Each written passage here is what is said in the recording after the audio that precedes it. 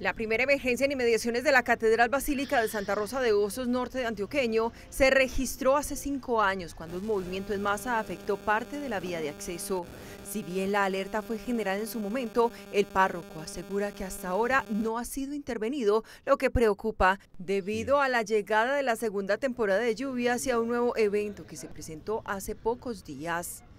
Esta parte de acá jaló completamente y averiado ya y amenaza toda la estructura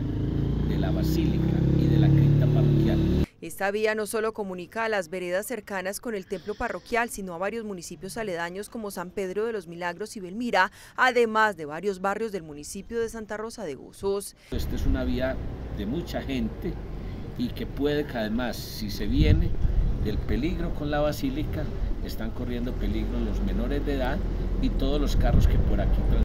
el llamado de la comunidad parroquial es para que de manera urgente se declare una urgencia manifiesta que permita atender la situación y recuperar el templo parroquial antes de que pueda ocurrir una catástrofe.